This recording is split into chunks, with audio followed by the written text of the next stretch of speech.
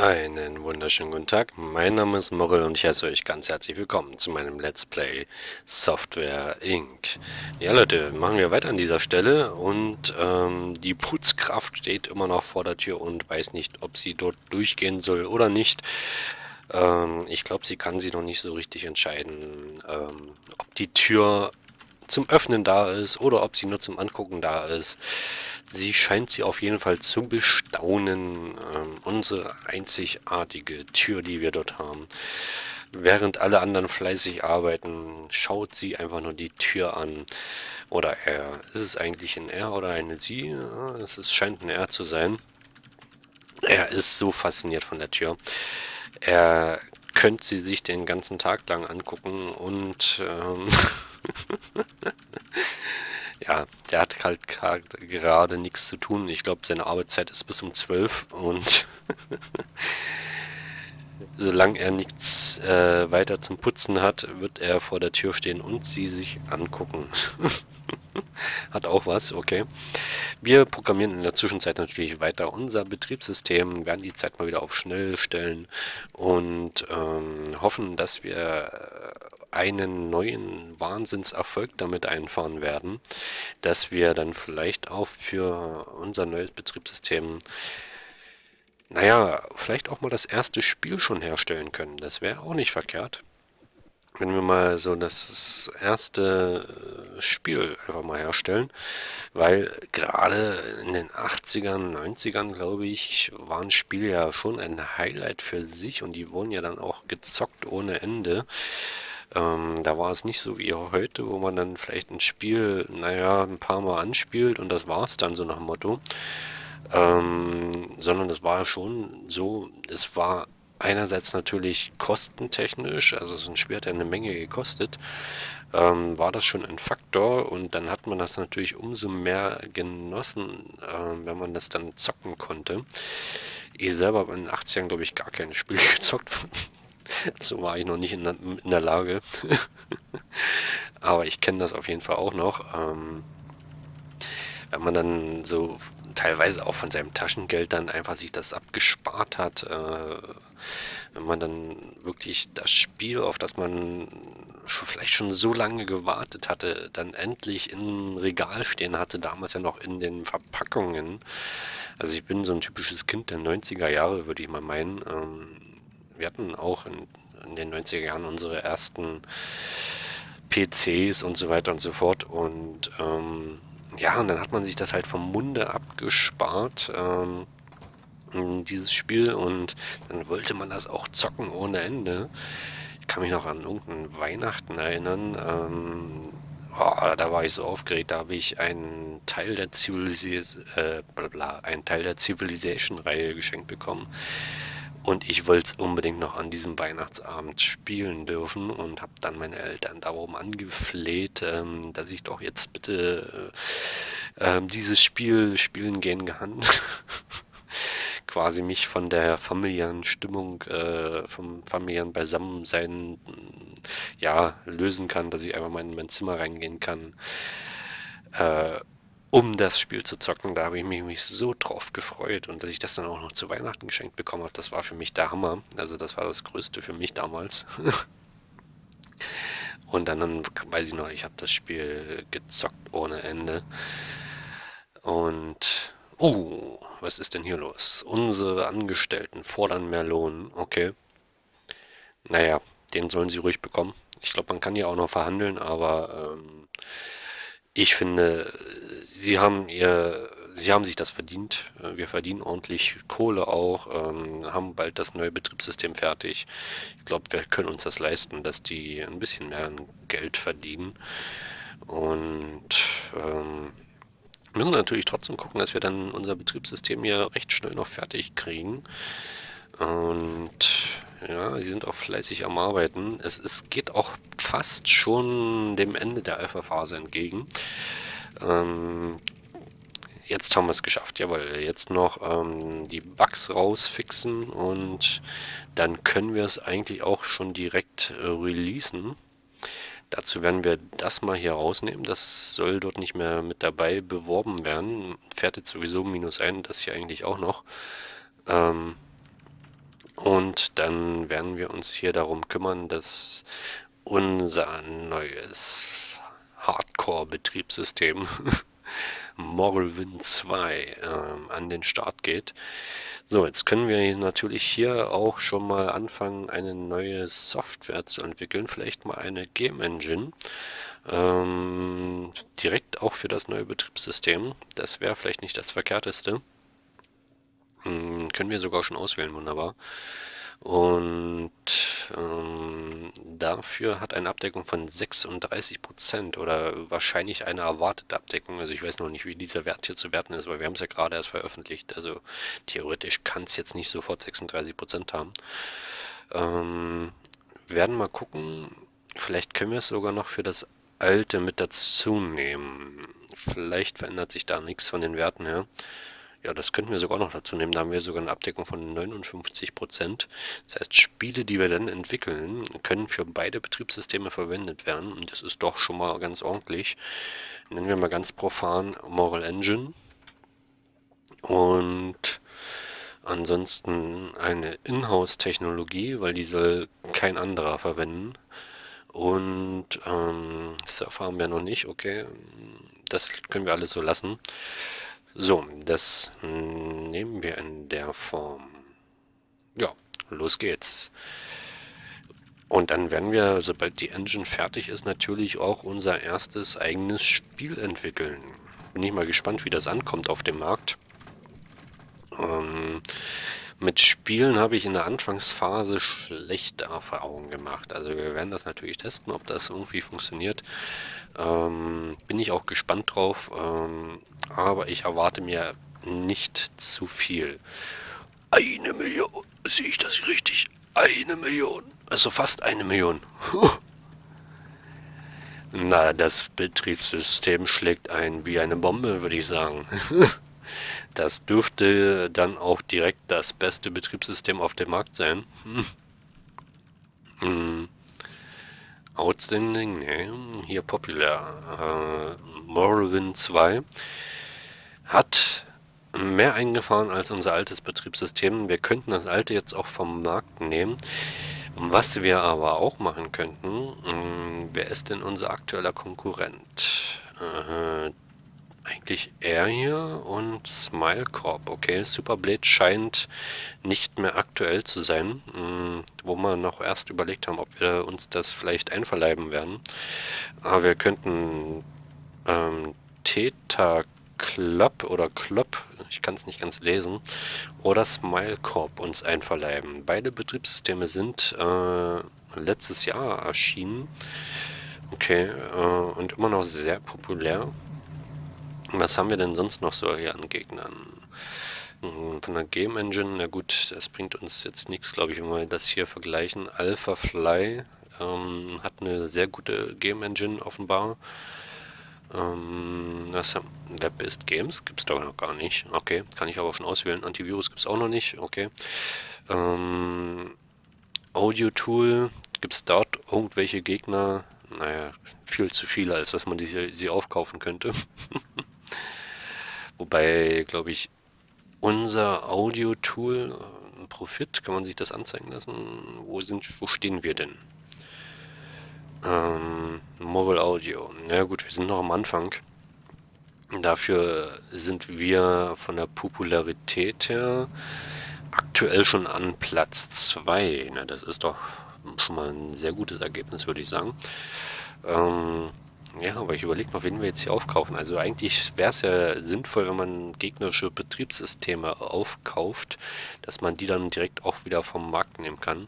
Einmal wäre halt Theta Klopp oder Club ähm, und Smile Corp.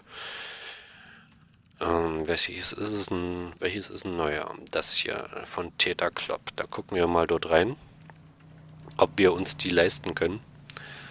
Ähm, sortieren wir mal und äh, Täter. Hier haben wir sie. Haben genau ein Produkt auf dem Markt und das ist halt das Betriebssystem. Das könnten wir uns, wie gesagt, einverleiben. 76.000 wären 25 Prozent. Äh, das können wir uns locker leisten eigentlich. Komm, das holen wir uns. So, da haben wir hier gleich, you saved the rights to run products. Okay, wir werden dieses Produkt vielleicht auch direkt selber bewerben. Ähm, warum auch nicht? Ähm, denn es gehört ja zu uns dazu. Und ich glaube, das ist auch noch relativ ähm, neu. Details, obwohl, naja, so richtig auch nicht mehr. Ähm, wir werden es trotzdem nochmal versuchen zu bewerben. Vielleicht können wir dort noch ein bisschen was an Kohle rausholen. Und ja, lassen wir mal laufen. Ob wir da noch irgendwie Geld bekommen dafür oder nicht. Auf jeden Fall schadet es nicht, wenn wir das ähm, uns einverleibt haben. So, hier die Entwicklung nimmt auch langsam äh, Fortschritt an wir verdienen doch noch ein bisschen was damit, allerdings natürlich längst nicht das, was wir äh, für die Firma hingeblättert haben, aber dafür ist ein Konkurrent weniger auf dem Markt, was die Betriebssysteme angeht. So, ähm, ich glaube, ihr seid auch soweit fertig, da können wir promoten. Mhm. Machen wir natürlich dann am nächsten Tag und dann können wir es auch direkt auf dem Markt werfen. Besser gesagt, ähm, wir wollen es ja gar nicht auf den Markt werfen. Das ist ja eine interne Software. Das heißt, wir gehen auf No. Und dann können wir jetzt nämlich unser erstes Game entwerfen. So, da können wir nämlich auswählen, unsere Game Engine. Und ähm, dann wählen wir natürlich unsere eigene aus, weil die haben wir ja gerade gut entwickelt. Ist von der Qualität her auch großartig und ja, die nutzen wir natürlich dafür. Ein Visual Tool können wir auch wählen, dann nehmen wir natürlich auch unser eigenes, das Marvel Draw, deswegen haben wir das ja alles entwickelt. Und das Audio Tool nehmen wir natürlich auch unser eigenes, jawohl. So, dann können wir hier auswählen, was soll das Spiel alles für Möglichkeiten haben. Natürlich aktueller Stand der Dinge, 2D-Grafik, eine künstliche Intelligenz soll dabei sein und Qualitätskontrolle wird natürlich auch betrieben. Das soll ja schließlich was ein gutes Spiel werden. So, Moralwin und Moralwin 2 sollen mit dabei sein. 61%, äh, knapp 62% Abdeckung der Betriebssysteme. Und ähm, wie nennen wir denn das erste Spiel? Tja, ähm, gute Frage, da habe ich mir jetzt noch gar nicht auseinandergesetzt. Wie können wir das Ganze denn nennen? Ähm, Gamers, nee, Gamers Makers, ja. Gleich mal Werbung für ein gegnerisches Spiel gemacht. Nein. Ähm, wie, was gab es denn für Spiele damals? Monkey Island, ja. Ich weiß gar nicht, ob man das hier so reinschreiben darf. Aber warum eigentlich nicht sehr Werbung für das Spiel? Ähm, Monkey Island. Das wird mal unser erstes Spiel sein. Jetzt schon mit 2D-Grafik. Ich glaube, das erste Monkey Island. Gab es das schon mit 2D-Grafik? Oder war es nur textbasiert? Ich weiß es gar nicht. Ich glaube, das erst. Nee, das müsste schon mit 2D-Grafik gewesen sein. So, dann nehmen wir das natürlich und, ähm, obwohl Monkey Island, Monkey Continent. Nennen wir es mal so, dass es nicht ganz exakt das gleiche ist, aber ihr wisst ja vielleicht, was gemeint ist. So, ähm, bla das haben wir alles, das haben wir, das haben wir, das haben wir, müsste alles soweit passen. Können wir sozusagen entwickeln. Man sieht hier allerdings schon Innovation Level Low, also das wird jetzt kein besonderes, kein besonders herausragendes Spiel werden. Dafür eine hohe Stabilität und eine hohe Benutzerfreundlichkeit sind dabei. Na dann entwickeln wir das Ganze. Und bin ich gespannt, wie sich das, wie das am Markt ankommt, ob wir damit irgendwie ein bisschen Kohle verdienen können oder nicht. Ich denke mal, dieses Betriebssystem werden wir jetzt gleich vom Markt nehmen. Hm, wir werden mal hier das beenden. Und wo haben wir es denn? New Releases, äh, hier Details, äh, Take-off Market. Da sieht man gleich, man verliert enorm viel Reputation dadurch. Nur weil wir dieses eine Betriebssystem jetzt vom Markt genommen haben.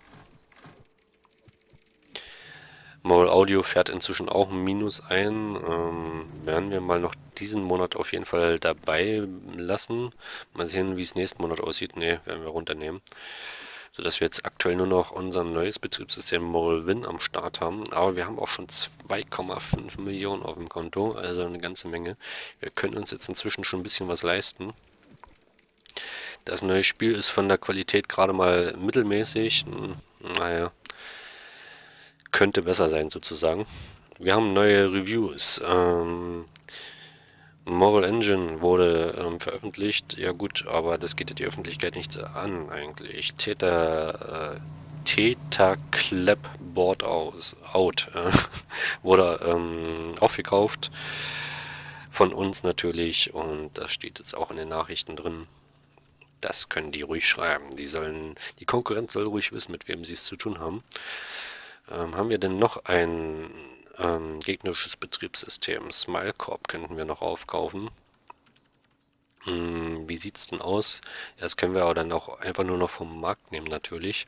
Moral Win könnten wir noch vom Markt nehmen, also das erste. Ähm, ansonsten, ja, wir könnten Smilecorp uns mal anschauen wie die auf dem Markt so ähm, aufgestellt sind.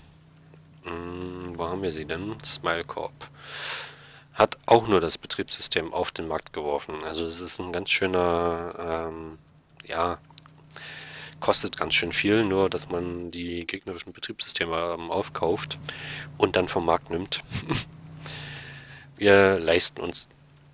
Ah, okay, es geht nicht. Wir brauchen eine 5-Sterne-Reputation Ach ne, sind da mehr Sterne. Ein, habe ich noch nie durchgezählt. 1, 2, 3, 4, 5, 6 Sterne Reputation bräuchten wir, damit wir ähm, diese Firma aufkaufen können. Schade eigentlich. Liegt es eigentlich daran, dass die selber so eine hohe Reputation haben? Ähm, kann man sich das irgendwie ansehen hier? Ähm, Products, naja gut, die will ich jetzt nicht sehen. Das, die kenne ich ja. Chart, auch nicht. Smile Corp. Ähm, Ach da, doch, hier, Reputation, 33,73. Ähm, da steht es ja auch. Ähm, wie sieht denn unsere Reputation aus im Vergleich zu den anderen? Wo stehen wir denn aktuell als Moralsoft? Ähm, hallo? Moralsoft? Da, 84. 84 Prozent und das ist eine ganze Menge. Mm, da haben wir uns, jetzt habe ich uns auch gesehen. Wir haben schon sechs Produkte auf dem Markt. Ähm, okay. Hier wäre eine ganz interessante Firma, ähm, die schon sieben oder hier SIG LLC hat sogar schon acht Produkte auf dem Markt. Wie sieht denn der Chart aus? Ähm, ich glaube, das ist Balance. Okay, das ist quasi der Wert. Da könnten wir uns vielleicht zumindest schon mal einkaufen, wenn wir dann wieder die entsprechende Reputation dafür haben. Ähm, na gut, behalten wir alles im Hinterkopf. Erstmal entwickeln wir natürlich unser Spielchen weiter, das äh, hoffentlich gut bei den Konsumenten ankommen wird. Und aktuelle Qualität ist schlecht. Naja, ich glaube, der Reißer wird es nicht werden. Wir bräuchten vielleicht auch nochmal jemand, der sich ein bisschen mit Programmieren auskennt. Und ähm, da gucken wir mal gleich nochmal, dass wir vielleicht noch einen extra Schreibtisch mit dran setzen können, weil, wie gesagt, Kohle haben wir gerade aktuell. Ähm, hier noch ein Rechner natürlich dazu und dann gucken wir nochmal, dass wir hier die Polices etwas erhöhen auf vielleicht nochmal insgesamt eine Million. Wieso kann... Achso, doch. Ich wollte gerade sagen, wieso darf ich denn nicht? Ähm, erhöhen wir mal auf eine Million und dafür suchen wir jetzt eine neue Angestellte. Und zwar, wie gesagt, ein Programmierer soll es sein, dass das Ganze ein bisschen schneller vonstatten geht hier. Okay, da bekommen wir schon nicht mehr ganz die guten Leute. Ähm, da haben wir wahrscheinlich zu wenig äh, Kohle reingelegt in den Fonds. Ähm, aber ihr seid auch nicht alle wirklich gut aufgestellt oder sympathisch mit uns hier. Hm, ich habe übrigens nochmal nachgeguckt. Also ich habe die Werte von Morrill nicht verändert. Der ist misanthropisch und ähm, wenn Cookie kokett heißt, dann ist er kokett. also ein koketter Misanthrop. Das sind, glaube ich, jetzt nicht unbedingt die Werte, mit denen die meisten Leute gerne zusammenarbeiten. Das heißt, wir haben hier ein bisschen erschwerte Bedingungen. Aber haben ja notfalls die Kohle, dass wir einfach noch eine neue Suche starten können. Hm, ja, das bringt hier gerade alles nichts. Nee, wir suchen nochmal neu. Hm, Und zwar ein Programmierer und volle Kanne und dann nochmal zeig her, was du hast. 52% 37% 33% 2,5, 50. Ja, das ist der höchste Wert aktuell. Aber hier ist nicht wirklich was dabei. 50% mit 32 Jahren, ne, das würde ja gehen, aber das ist zu wenig. Wir brauchen mehr. Wir brauchen jemand, der besser ist. Wir brauchen jemand, der sich 100% mit uns versteht. Also notfalls bilden wir den auch aus. Also das soll gar kein Problem sein. Das investieren wir locker und gerne. Hauptsache, der versteht sich mit uns, mit unserem Misanthropen. Wirklich ein starker Fehler, den ich da begangen habe am Anfang der Folge, weil solche Probleme, Leute zu finden, hatte ich wirklich noch nicht. Und ich glaube, das liegt wirklich daran, dass der Misanthrop ist. Ähm, vielleicht sollten wir auch einfach mal ein neues Team gründen, das wäre auch noch eine Möglichkeit, dass wir unseren Moral irgendwo anders unterbringen und ein neues Team sozusagen entsteht, äh, wo Moral außen vor ist. Ähm, tja, sieht schlecht aus, oder? Ich mag auch nicht jetzt die ganze Folge hier dran suchen, ob wir hier irgendjemand finden, der sich mit uns versteht. Das ist ziemlich ungünstig. Ich werde auch noch schauen, ob man vielleicht die Werte nochmal verändern kann, nachträglich in irgendein Safe-Game von Maul. Ähm, werde ich, glaube ich, mal zwischen der Folge und der nächsten Folge mal probieren, ob man, wie, das, wie die Safe Games aufgebaut sind, ob man das nochmal irgendwo verändern kann oder so. Wäre vielleicht wünschenswert. Äh, naja, also hier ist wirklich nichts dabei. Die verstehen sich alle nicht mit uns. Das hat die wirklich noch nicht in dem Ausmaß. Hm. Aber gut, was soll's. Ob wir jemals weitere Mitarbeiter finden werden, dies und viel mehr erfahrt ihr in der nächsten Folge. Haut rein, Jungs. Bis morgen wieder. Ciao, ciao.